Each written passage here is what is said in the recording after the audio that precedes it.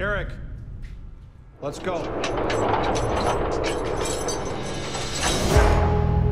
David, Lola, thank you for joining us. Mr. and Mrs. Dang's son is fighting deportation because of an unlawful firearm conviction. I don't know what got into my son. There has to be a reason for this. We need to get to the bottom of this. This case can make you a partner. Things are looking pretty good for me. We are Nigerians, so we expect the best from you. I was attacked.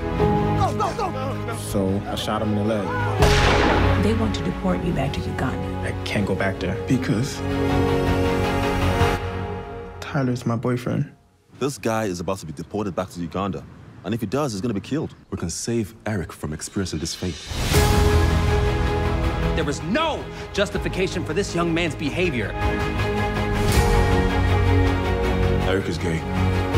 That was why the Uber driver attacked him. Why is David so confusing? You need to be with a Nigerian woman. You're afraid they would disown you for falling in love with a black American woman.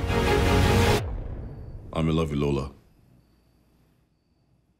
Hey! Sometimes we are faced with making decisions that change the course of our lives. Get ready to man up.